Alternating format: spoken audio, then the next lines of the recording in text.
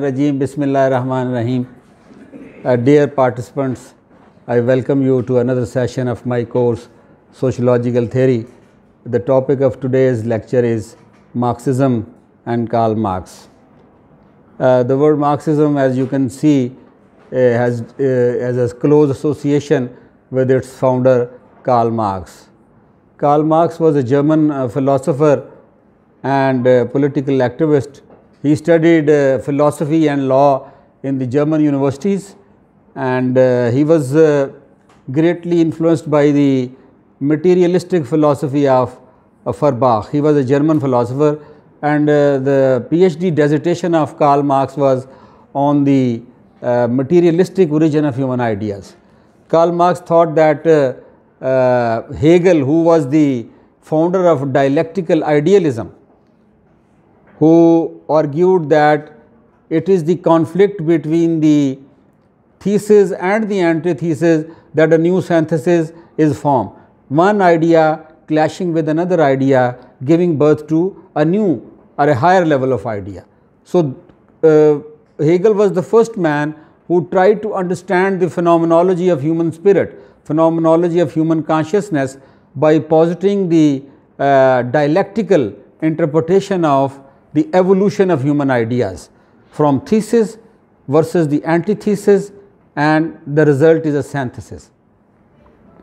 Karl Marx, you know, he picked up this concept and he said, he argued and he laughed, he said that Hegel was wrong, he, uh, he you know, uh, his uh, theory was standing on the head and I have just corrected his position and I have now the uh, idea of dialectical idealism is standing on its feet. The real uh, thing according to Karl Marx was the conflict between the material conditions. It was not the thesis and antithesis of ideas. According to Marx, it was the thesis and antithesis of material conditions. So, Marx said that it is on the basis of the historical materialism that we can understand the evolution and growth of the human societies in a scientific and objective way. This is what he claimed. This is what Karl Marx claimed that if you want to understand scientifically and objectively the evolution of human societies, the growth of human societies, the development and transformation and the change of human societies, all you have to do is to understand the material conditions of that society. What is the level of technological economic and social system existing in that society. So, he said that the growth of society, the growth of human culture is the outcome and the product of the clash of opposites. It is the clash of the opposites, clash and conflict between the rich and the poor, clash and conflict between the religious and the secular, between the real and the ideal, between the lower class and the upper and the higher class, all these you know opposites they clash with each other. The rich and the poor, the propertied and the ex-propertied they clash and out of the out of this clash the historical evolution takes place.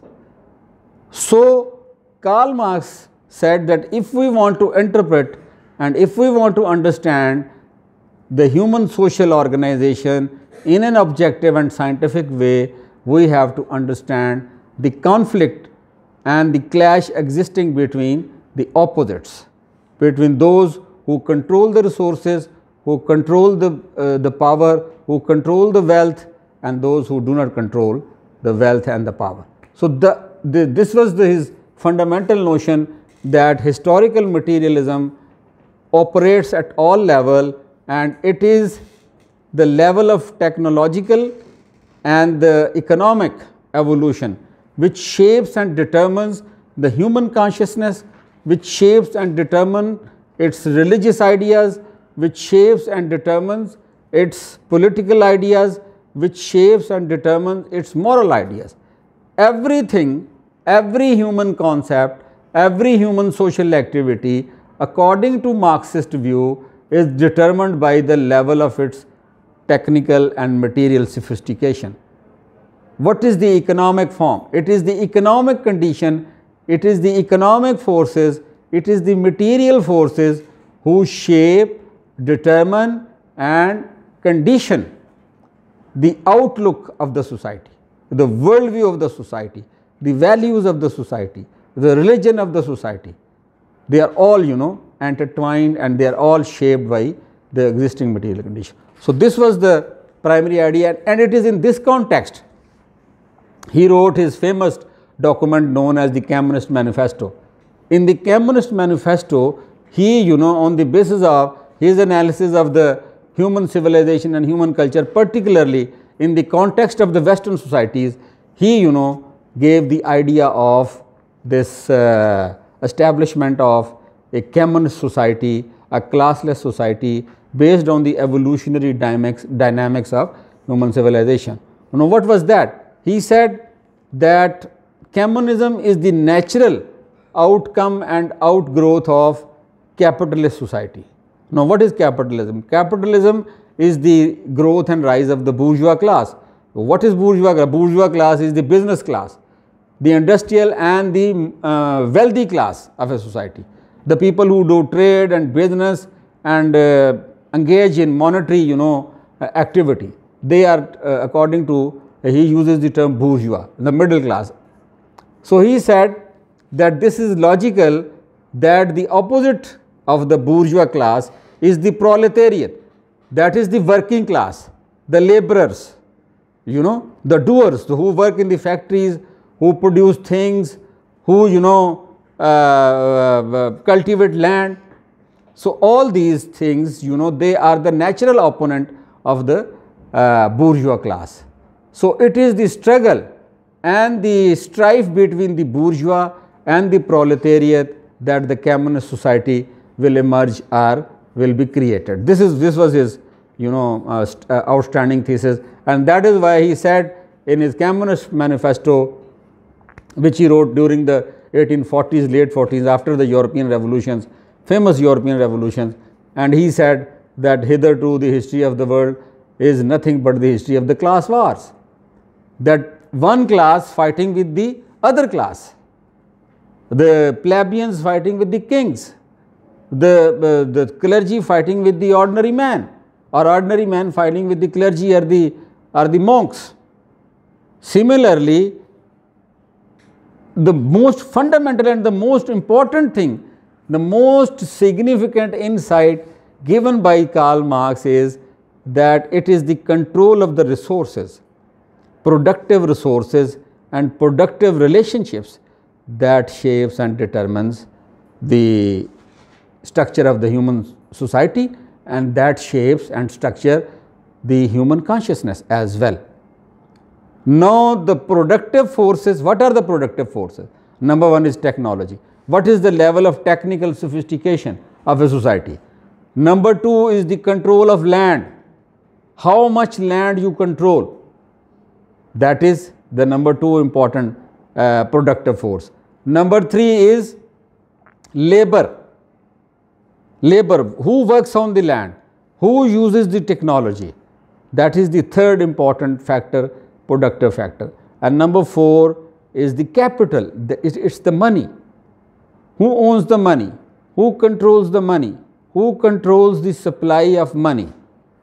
So, according to Marx, it is the control of these three productive relationships that shapes what the people will think, how the people will live, what will be the form of political organization, what kind of religious beliefs they will hold. It was the precise, it was because of this reason he said that religion is the opium of the people, uh, ordinary people because in the western European history the Roman Catholic Church you know had a very negative role. You know they used to control the uh, economies, they used to control the politics and they used to control the diplomacy of the western Christendom vis-a-vis the Muslims, vis-a-vis the Ottoman Empire during the 15th and the 16th and the 17th century. Though Karl Marx said that because the church has authority and power and they use religion, the idea of God to sedate the thinking process of the people, to create a state of, state of dreamlike state in which they cannot reflect on their subjugation, on their subordination, on their exploitation by the feudal class, by the bourgeois, by the kings and the monarchs. So they, not, they do not rise up, they do not rebel. So Marx propounded a revolutionary philosophy to change the society. That is Marxism. It is a revolutionary. He said, it, this is not important that what is reality, how we conceived about the social reality. What is important is how we change the social reality. That is important. The pragmatic action, the task of the social scientist, the task of the social activist and the theorist is to change the society and to uplift and transform the suffering proletarian working class. So he established the Communist International, he wrote the Communist Manifesto along with Frederick Engels, another friend of his, his and he was forced to leave Germany. He lived from 1840s onward, he lived in uh, uh, UK, in England and it, uh, was, was in exile, perpetual exile till his death in 1890s.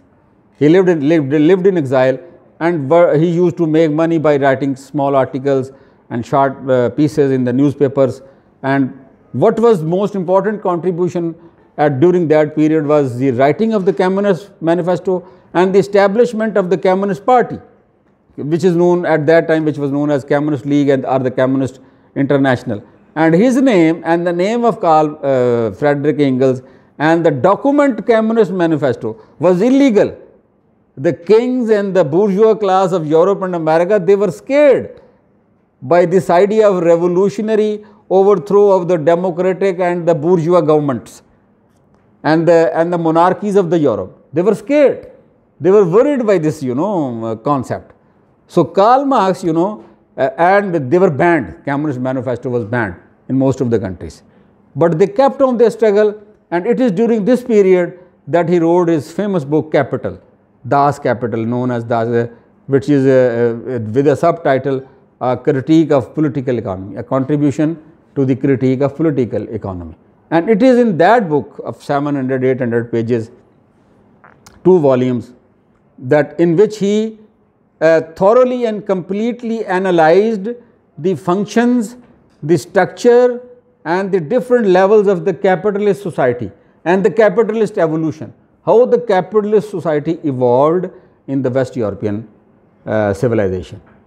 And how it is going to be overthrown or overpowered by the subsequent communist society. A class, communist society is a classless society in which all the factors of production are owned by everyone in a voluntary way.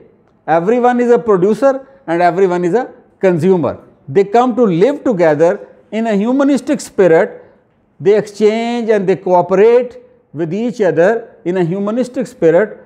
They share their things.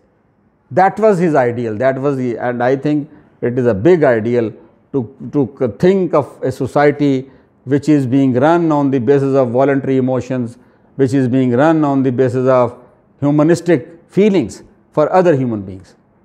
So he, you know, seriously criticized the exploitation and subordination of the working class, the proletariat class by the bourgeois class. He said that what the, what the capital, capitalism and the capitalists do, that he creates alienation. Now, what is alienation? Alienation is that they buy your labor, they purchase your labor. By buying your labor, by purchasing your labor, you get separated from your labor.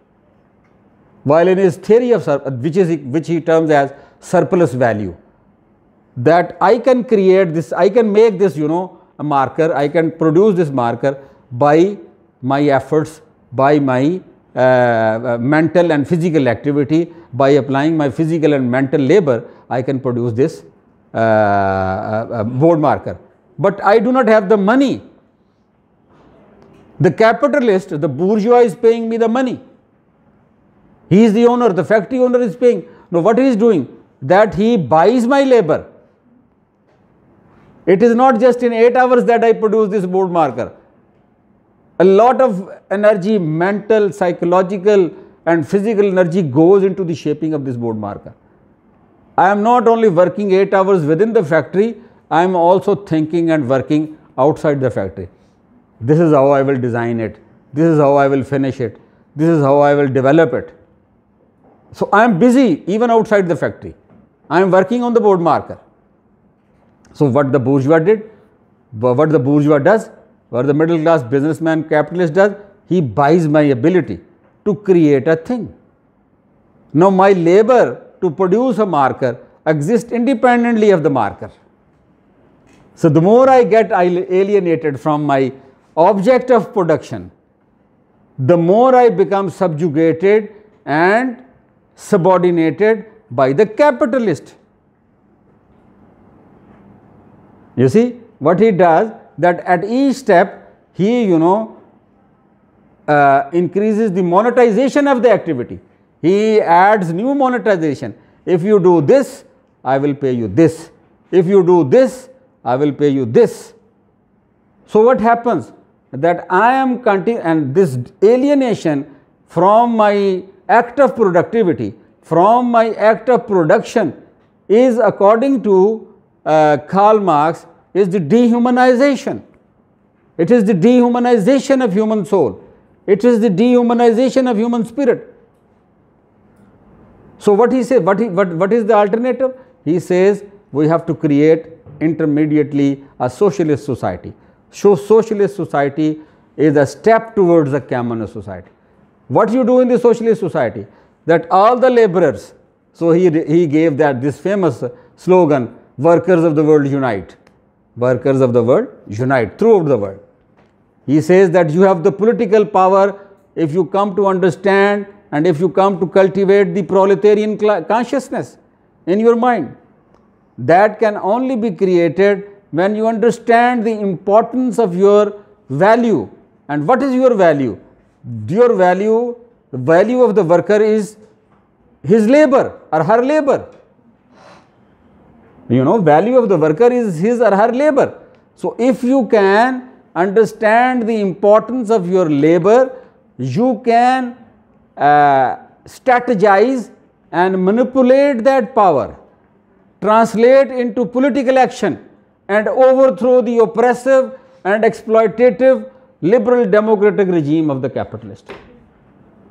This is what the Karl Marx stands for. The revolutionary overthrow of the exploitative, of the of the oppressive middle class democracies and plus the monarchies of the world throughout the world.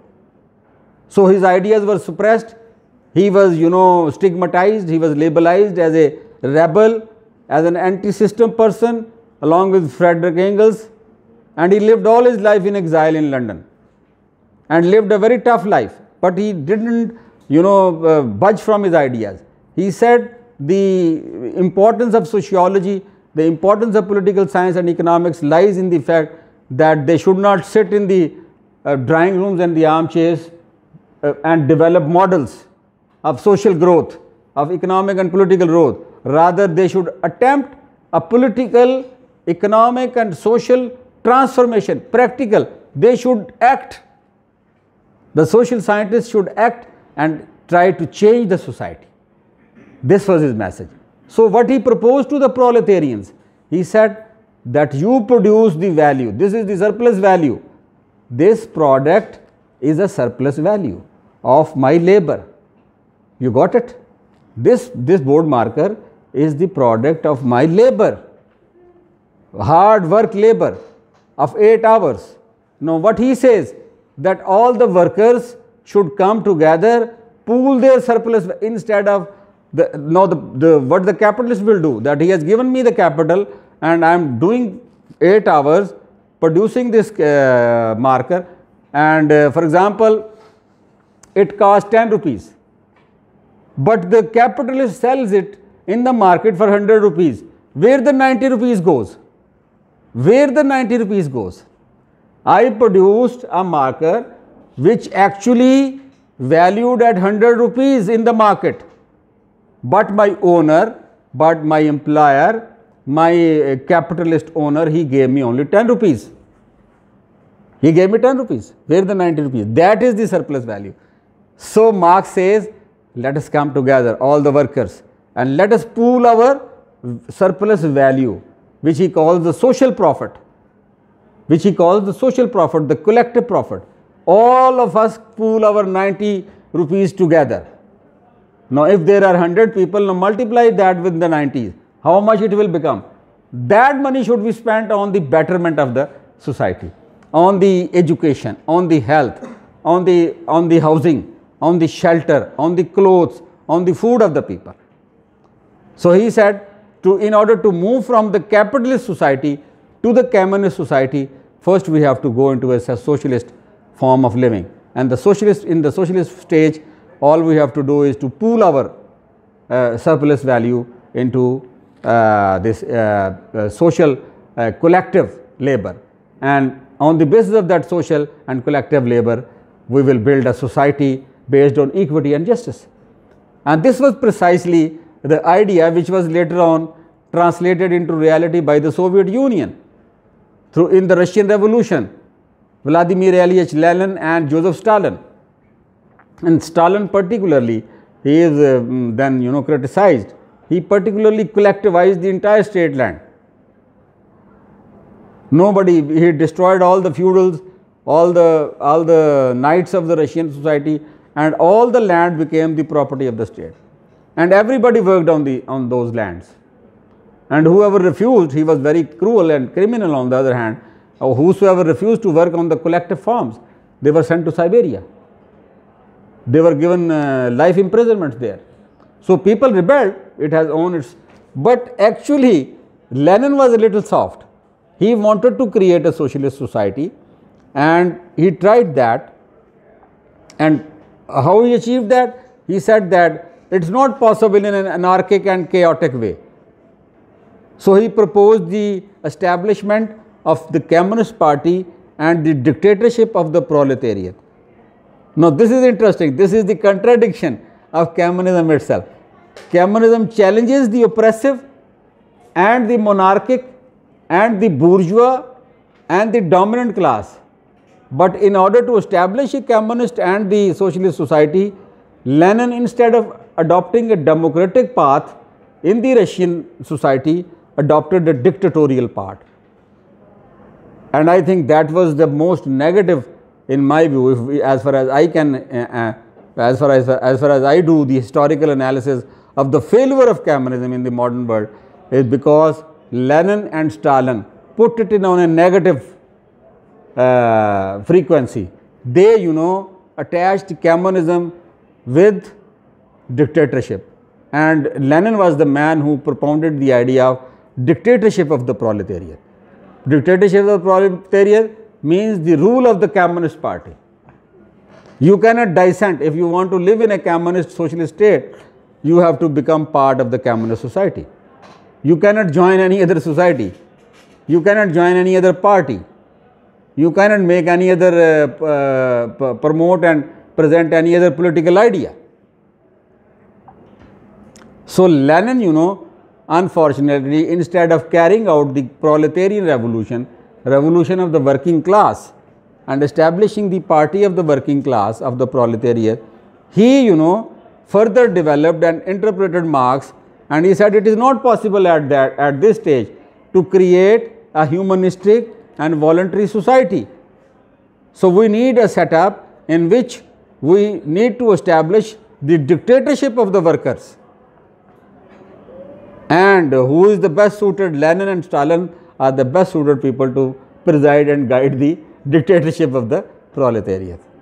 So, this is a contradiction that on the one hand you want to remove dictatorship, you want to dismantle dictatorship, you want to uh, dismantle tyranny and oppression, but at the same time you are becoming yourself a dictatorship, a tyrant, a despot, a totalitarian state and then you can you, you may be aware of it that after the second world war it is a struggle between the, the Soviet Union and the US and it is historically known as the Cold War. What was Cold War? it was the struggle of the free world, so called, um, led by America. They call themselves as free world. They represent the bourgeois, middle class, capitalist society. Free world versus the closed world or the totalitarian world of the Soviet Union. So, Communist, in Communist Manifesto, uh, uh, he saw the dream of establishing a classless society in which they were partially successful. In Russia, Lenin and Stalin was able to establish a partial communist society and this idea was then taken up by the Mao Zedong in China and he brought the revolution of the peasants. He established the dictatorship of the peasant class because in China there was no uh, worker class, there was no industrial class totally. In Russia there was industrial class, worker class, but in China it was mainly uh, peasants and the people who tenants who worked on the land. So Mao interpreted it and, and he said that the Chinese communist can be successful only by establishing the dictatorship of the peasants. So this is how uh, Marx you know envisaged a society evolving out the out of the economic contradictions of the system you know. And he claimed that those who own and control the economic resources and the productive forces and the productive relations they also control the political power they also control the beliefs and they also control the culture of that society so there is a truth in it but there is a partial truth in it. We see that human beings you know they need freedom. They need you know enterprise. They also need belief and values to live. And from where the beliefs and values come? They come from either from the religion or from the ethical systems. Marx you know simply denies the role of religion and the ethical systems in the organization of human societies and that precisely also explains its failure in, in Muslim societies, in societies like India, Marxism has failed, bitterly failed. The left, uh, commonly known as the left. Why they failed? Because they directly challenge the moral and the religious value of that society. They don't realize that people believe in certain spiritual, certain moral, certain ethical values. And if we take away those values from them, where will they stand? So, that is the dilemma of the left not only in Pakistan, but even in Europe, in America, in other parts of the, in India, in other parts of the world, developed world, free and civilized world. So, you can simply say that Marxism is a critique of the political economy of capitalism, its productive forces, how they shape and transform and control the human labor and how that labor is alienated then and exploited by the capitalist class and how they create inequalities. And you can simply say that Marxism is a, is, an, is a study of inequality, human inequality, how inequality is created. And according to Marx, inequalities are created because of disproportionate distribution of wealth, disproportionate uh, distribution of the productive resources productive relations. How much land you control, how much technology you control, how much labor you have at your disposal, how much capital you have at your disposal. These are the productive forces, these are the productive relations, these are the things who established, these are the factors of productions and who control them. That matters. That will define who will hold power in that society. You see? But the ideal of Marx is very lofty. He wanted to establish a society which was without any classes. And he believed in the innate goodness of human beings. He said that if human beings, if the proletarian consciousness becomes one and unified instead of reified and alienated, if becomes unified and one, it can overthrow the shackles of a segregated dominated, uh, materialized society, dehumanized society. It can really create a humanized, harmonized, and voluntary society in which human beings, you know, they work for each other in a humanistic way instead of uh, demanding money in exchange of their services.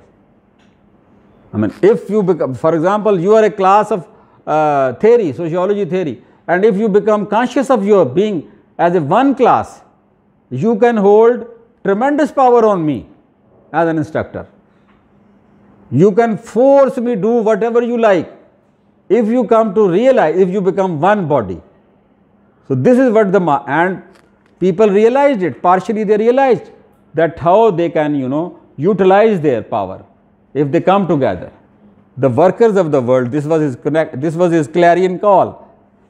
And it was precisely in this context Iqbal, you know, wrote the poetry of the revolution uh, uh, during the uh, first, uh, first World War. It was during that period when the Russian Revolution occurred when Iqbal said, Kakhe umra ke daro diwar hala It it was during that period everybody was affected جس کھیت سے دہکاں کو میسر نہ ہو روزی، جس کھیت سے دہکاں کو میسر نہ ہو روزی، اس کھیت کے ہر خوشہ گندم کو جلا دو. Is a whole poem in Bal Jibril I think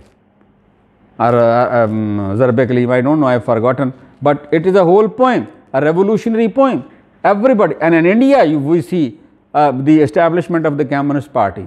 In Pakistan, we see the establishment, and we see a, a stream of intellectuals. Uh, the whole progressive movement was established during the 30s in India, and then on later on in Pakistan, uh, which is known as Tarakki Pasand Tahreek. The, they, you know, uh, sort of uh, changed the idea of the classical literature and they said that the objective, the prime objective of the literature is to change and transform the society and to uh, solve the problems and issues of the uh, ordinary human beings. People like Sahir Ludhianvi, people like Makhdoom Mohiuddin, people like Faiz Ahmad Faiz, Ali Sardar Jafri, people like you know um, uh, uh, Manto, they reflected the real time inequalities. Um, the famous uh, uh, poem of Faiz, Mujhse Pehli Si Mohabbat Mere Mehboob Na Maan. अब भी दिल कशा तेरा हुसन मगर क्या कीजिए? कि लौट जाती है उधर को भी नज़र क्या कीजिए? जिसमें वो कहता है कि बाज़ार में लोग कटे हुए पड़े हैं। The labourers are suffering the poor man is suffering the women are suffering the underdogs of the society are suffering how can I appreciate your beauty, O beloved? This is what this is what was, was the message of Faz and so many other poets in subcontinent. The Sajjad Zahir and other, you know, communist and Satya Ram, they tried to create the revolutionary consciousness in India. But they had one major handicap and that was that they neglected religion. They neglected religion, they neglected spirituality, they denied so, without religion and now this has, has uh, resurfaced as a much more in a much more powerful way not only in the Asian societies but in the European societies, in the American societies who were the citadel of the materialistic thought. Materialism, physicalism is being rejected today in the western societies, in the North American societies, in the developed societies because it denies a very important um, part of the human personality and that is the soul and the spirit. The capitalist system has its own limitations and we have known the capitalist growth and the capitalist free market economy has come full, full circle and today we stand on the pinnacle of a major ecological uh, disaster or crisis, a global ecological uh, crisis. So, you can say partial vindication in this also because Marx you know he wanted to establish a harmonious and balanced relationship with the uh, uh, uh, nature and with the human society. What is uh, important is that that relationship is disturbed by the activity of the capitalist and the capitalist society. What capitalism does it creates inequalities, it creates subdivisions, it creates categories, it creates in today's terminology rankings. You know, this is QS ranking, this is TS ranking, this is Asian ranking. What is this? This is division, this is subdivision. I mean, you want to say that people who do not read and write and study in a ranking university, they are not worth it, they are not, they are lesser human beings from those who study in a ranking university? No. So, in heart, Marx was a great human, uh, humanist, but his handicap, his problem, his dilemma was that he was somehow got enamored and trapped into the materialistic interpretation of the history. I do not deny materialistic factors, they play important role in the evolution and development of human societies historically, but at the same time the role of religion, the role of uh, values, the role of spirituality, the role of human soul cannot be denied. What humanity needs today is a balance. We have reached to a point when, in which we need a balance, a harmonious relationship between technology and soul.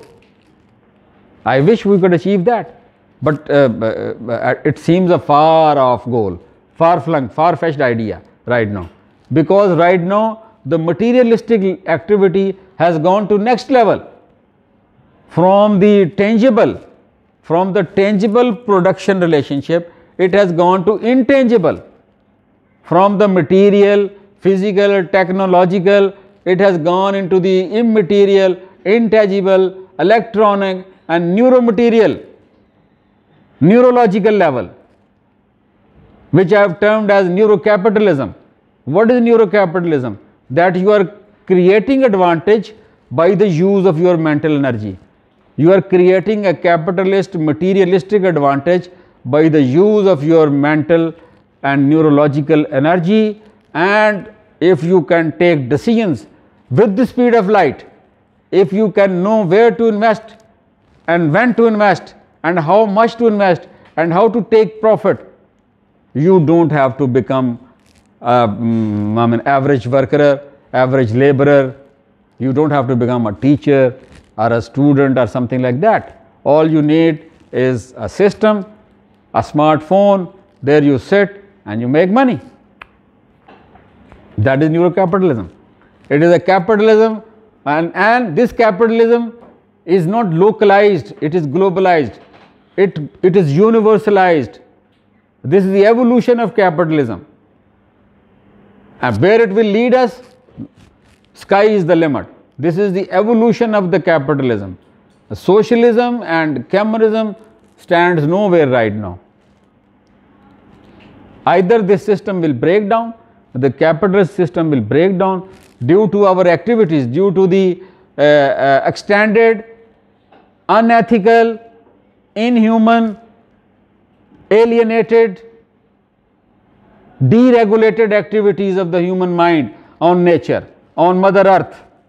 So now the Mother Earth has reject has protested in the form of COVID-19. You know that was the major protest in the form of this pollution. What is this smoke? This is the product of our actions, the carbon emissions, the coal burning, the oil burning, which we do every day without realizing. You see? So, the entire infrastructure, the entire system of the modern societies is based on an artificial breathing system, on an artificial input, on a technological apparatus. And if that technological apparatus collapses, now you tell me where you will end up. What is the end point? But at the same time, the crises have become so eminent, the crises have become so pressing that you cannot overlook it. And that is the climate challenge, that is the climate crisis. And it is the direct outcome of the last 200 years of capitalist industrialist activity on the planet earth. Now the mother earth, our mother earth is crying. She is saying, save me.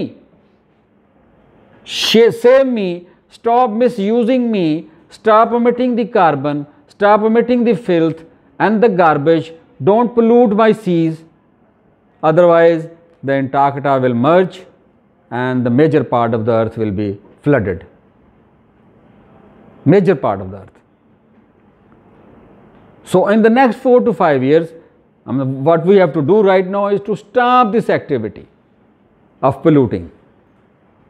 Stop this activity of multiplying money, wealth making, profit taking. And we have to come to a model in which we adopt some sort of collective responsibility and sharing, in which we share our resources and in which we curtail our invasive and interventionist activity on nature and on other you know uh, uh, resources of human survival. All we have is this planet earth, nothing else. And those who you know trumpet and pro promote like uh, Elon Musk and uh, Jeff Bezos going on a, and the Branson going on a space travel, that is a far-fetched far-fetched idea and survival on the outer planets on Mars, on Jupiter and like that is a very difficult. That is a very difficult task, very costly task, very expensive. And even if few people escape the ecological and the uh, traumatic end of this world, nuclear or otherwise, if they escape to Mars, what will they will not survive there, and the human race will be finished. So we have come to the to this point. We have to understand the contradictions by using uh, his concept of thesis and antithesis and synthesis. You know, rich and the poor. Rich is a thesis and poor is an antithesis. The creation is a socialist society, synthesis. That is the new form. When one social form cl clashes and conflicts with another social form, a new social form emerges. That is thesis and antithesis and synthesis. So, the law of contradiction is operating, dialectical materialism is operating, even di Hegelian dialectical uh, idealism is also operating. Ideas, they also clash, one idea being challenged by another idea and in turn giving birth to a new idea, third idea, synthesis, which we call as synthesis. So, this is how the uh, evolution of the ideas of Karl Marx took place and this is how he gave a new philosophy of political and social action. He believed in action, he believed in human equality and he believed in freedom of uh, human spirit. Thank you very much.